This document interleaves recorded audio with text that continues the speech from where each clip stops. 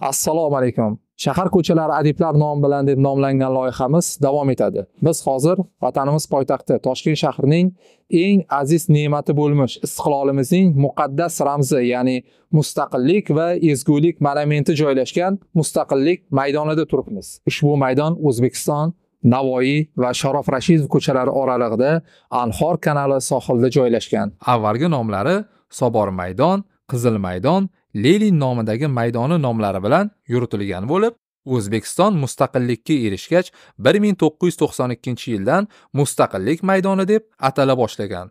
Maydon ansambl me'moriy uslub va ko'lami jihatdan yaxlit turli ma'muriy binolardan iborat.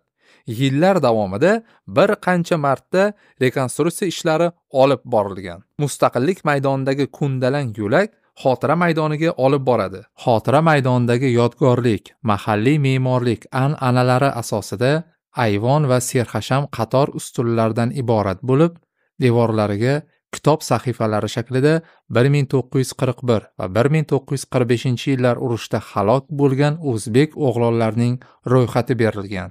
Urushda halok bo'lganlar xotirasiga bag'ishlanib motamsaro ona haykali o'rnatilgan va uning yonida mangu olov yonib turadi. Yaqinida mustaqillik maydoni metro bekati joylashgan va maydon daraxtlar va turli tuman gullar bilan ko'kalamzorlashtirilgan. Ushbu ma'lumotlar alisher navoiy nomidagi o'zbekiston milliy kutubxonasining fondida saqlanayotgan manbalardan olingan.